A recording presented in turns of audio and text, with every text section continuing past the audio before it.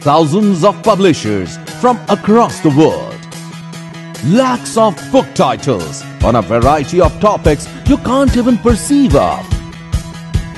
Asia's biggest book fair, organized by National Book Trust India, New Delhi World Book Fair, an event eagerly awaited by not only intellectuals and artist community, but also by book lovers of all age groups.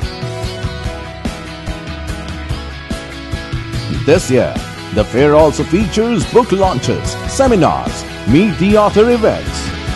Not only this, there will be street plays, poem recitation competitions for students as well as adults. So don't forget to visit Delhi World Book Fair 2013 only at Pragati Maidan, New Delhi from 4th Feb to 10th Feb 2013.